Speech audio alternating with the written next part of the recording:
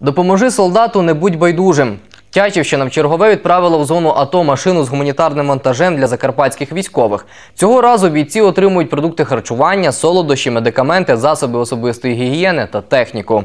Василь Негря, водій із 17-річним стажем, об'їздив всю Україну. Коли Тячівська громада вирішила допомогти військовим, радо долучився. І ось тепер разом з волонтерами регулярно їздить на схід країни, аби передати закарпатським військовим зібрану для них допомогу. Пригадує один випадок, котрий назавжди закарбувався у його пам'яті. 16 чи 17 е, січня після Василя ми були там, е, то попали на три часа в Дебальцево під обстріл. Через три години нас е, зібрали пару джипів і нас встигли вивезти з зони бойових дій ну, з-під вогню. Що ви в той момент думали? Дай Бог статися живому. А от волонтер Віталій Богдан на сході країни був вже 14 разів. Приєднався до волонтерської місії після того, як майже два роки тому у зоні АТО загинув його родич, 27-річний Олександр Шимон. Пригадує Сашка ще школярем. Коли почув, що його вже немає, земля пішла з під ніг. Відтоді чоловіка не залишає бажання допомагати солдатам, котрі день і ніч борються за світле майбутнє України. заразився я цими поїздками і вже поки є можливість, я не можу остановитися. Люди просять, просять, просять воєнні, просять люди. Тепер, коли ми були прошу поїздку, і хлопці розказували, кожного разу щось розказують нове про то Дебальцево. І розказував, що п'ять разів, ну цей кунг, що він у ньому помер, і п'ять разів в нього попадав град після.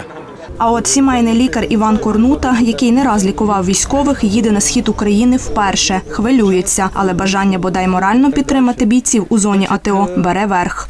Е, Дійсно, я до цього часу е, настроював себе, хотів побачити дійсно, що робиться там на передовій. Сказати, щоб якась, якийсь страх у мене його нема. Е, Лікарів, як кажуть, вони завжди такі, що в них не, не повинен по- тот страх панувати. Наоборот, е, відчуваю дійсно, що маю, е, дякую Богу, що маю таку долю е, бути там.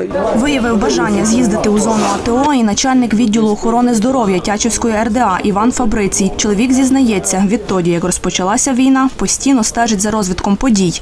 В мене виникло дійсно таке бажання е, відвідати хлопців там на передовій, побачити дійсно, що там робиться. І хочу сказати, якщо правду сказати, да, є переживання, е, переживається, але я вірю, що Бог нам допоможе, Він буде з нами і ми відвідуємо там хлопців.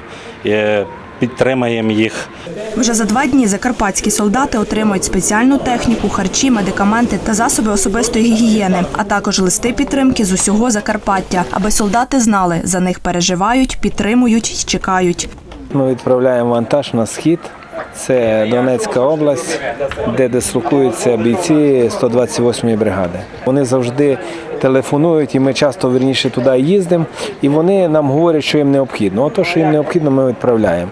Це е, запчастини на деяку техніку, е, ключі, які часто виходять, набори ключів, які з строю виходять, техніка для обладнання кухні, техніка для обладнання е, прачечної. Волонтери та небайдужі закарпатці не планують зупинятися, тож долучаємося і творімо добро разом заради мирного майбутнього.